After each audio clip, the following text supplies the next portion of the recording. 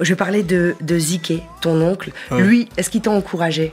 Bien sûr, il m'appelle souvent et tout. Il m'envoie beaucoup, beaucoup de messages, beaucoup de force.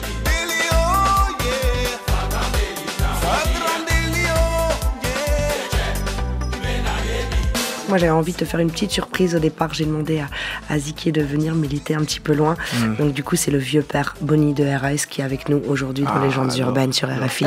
On accueille. Bonnie, je te laisse bah oui. Ça va bien, ça va, ça fait plaisir.